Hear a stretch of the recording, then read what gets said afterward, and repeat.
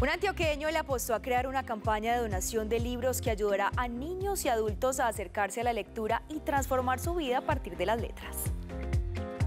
Leer es resistir, leer es tener, es poder tener la capacidad de soñar, de desarrollar tu imaginación, de ser cada vez más creativos, de construir un criterio propio. Estos ideales hicieron que Julián Maya creara hace cuatro años la campaña de donación de libros Yo Leo, Yo Dono, iniciativa que ha recolectado 5.000 libros entre nuevos y usados y que ha beneficiado a la biblioteca de la Fundación San Vicente, a la red de bibliotecas populares y comunitarias de Antioquia y a las escuelas rurales del municipio de Jardín.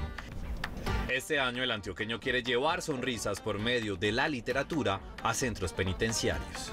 Yo leo yo no cuatro, se llama Libros Libres y va específicamente a dotar, a llevarle los libros a todos los centros penitenciarios del Valle de Aburrá. Esta campaña pretende recolectar libros nuevos y usados en buen estado, que no sean piratas y que abarquen tanto literatura como temas académicos todas las personas que en sus casas tengan los libros guardados, empolvándose, los pueden desempolvar, volverlos a empacar y enviármelos a mi casa, que es el centro de distribución, recolección, operaciones de todas las campañas.